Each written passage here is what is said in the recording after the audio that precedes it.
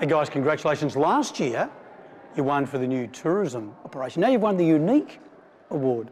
You must be very proud. Uh, we are. We are. At, um, it's quite amazing. We you know, nominated and, and it was a bit of a tough year. Um, and but we've had great support with uh, our staff at home and they've, they've been truly amazing. You've only entered these awards a couple of times and you've had great success.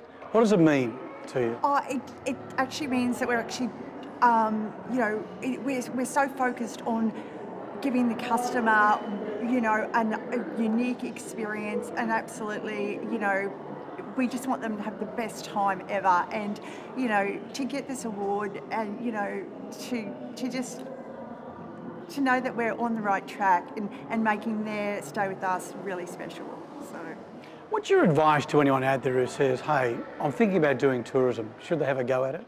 absolutely absolutely yes yes They should. Like tourism can be seen as a as a it's a romantic industry because uh, most of the people involved are the tourists.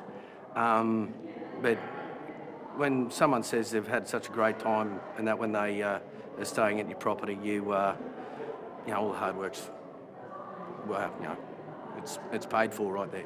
Absolutely. Congratulations, guys. Well thank done. Thank you so much Well thank done. you